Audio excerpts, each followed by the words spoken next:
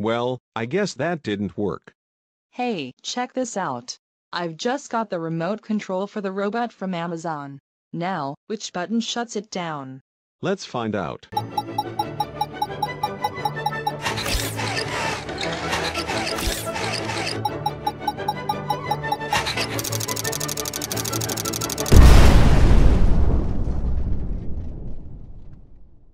Oopsie. We hope you enjoyed.